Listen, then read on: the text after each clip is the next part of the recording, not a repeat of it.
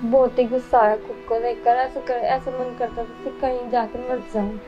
अभी एक वो है घबराहट सी हुआ है जब तरह तरह के आदमी देखते हैं कोई भी देखने लग जाता है। वैसे स्कूल के नाम की तैयार हो गए तो चुन्नी नहीं लगा सकती कपड़े नहीं पहन सकती नहा नहीं सकती इन चीज़ों में भी बहुत दिक्कत पड़े। क्लासरूम में मैं अकेली बैठती हूँ। और मेरे पास कोई नहीं बैठता कोई भी नहीं।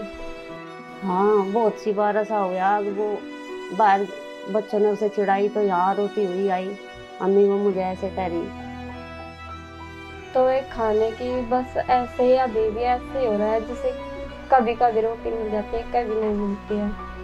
पापा के टाइम पे तो सब कुछ ठीक सही था अब तो बहुत ही खराब माहौल है मेरे पापा मुझे बहुत प्यार करते थे। जो जो मेरे पास था, वो हमने इसके पापा के ऊपर लगा दिया। और कर्जे भी कर कर लगाया। कि मेरे बस में कुछ नहीं है। अभी तो मैं ये अकेली कुमार वाली है। बस मैं स्कूल में लगी।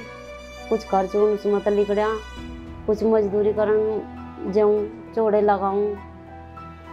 ऐसे ऐसे करके काम चला रही।